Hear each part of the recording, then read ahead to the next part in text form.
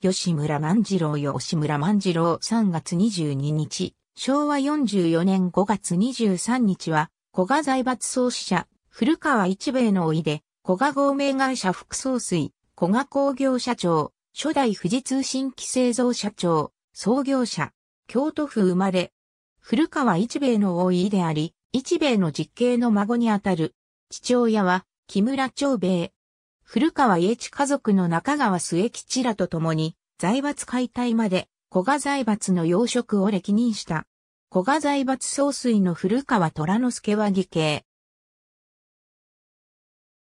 ABC 吉村万次郎、人事更新録、第8版、昭和3年7月、ハット ABCDE、企業集団の形成と解体、社長会の研究、菊池博之、日本経済評論者、2005、P301 から302月給2円50銭の村役場雇いから日本電線製造王となった中川末吉主奮闘伝、財界巨頭伝、立志奮闘実業の日本社、1930、鈴木一之助、人事更新録、第8版、昭和3年7月、中川末吉、人事更新録、第8版、昭和3年7月、古川虎之助、人事更新録、第8版、昭和3年7月、西郷嗣則、人事更新録、第8版、昭和3年7月、ありがとうございます。